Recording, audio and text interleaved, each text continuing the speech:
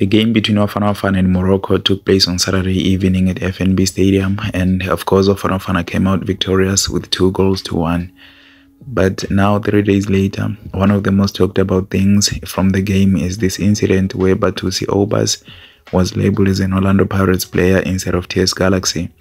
TS Galaxy president Tim Sukazi has insisted there is no truth on transfer talks linking midfielder Bathusi Aubaas with a move to Orlando Pirates.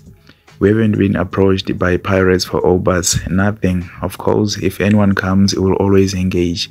We are that club, Sukazi told the media.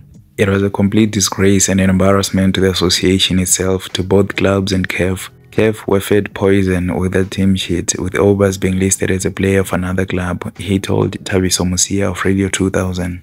I was really flabbergasted and dismayed and deeply disappointed. There is no formal apology as yet, but I must say the manager reached out. I think he saw my social media ranting. He reached out and rendered his apology. He explained the situation. Apparently, he had the old team sheet as a template.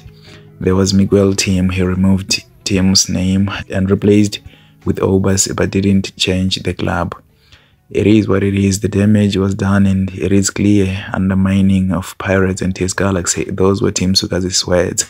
On Monday, Moroccan publication 532 Off confirmed that the former Cape Town, Bidvest and Mamelodi Sundowns player Hashim Domingo has signed a two-year deal with Raja Casablanca, who recently appointed former Orlando Pirates coach Joseph Zinnbauer as their head coach. Domingo leaves Sundowns having made 57 appearances with 5 goals and 6 assists to his name. Thank you so much for watching. Please like, comment and subscribe for more football news. See you on the next one.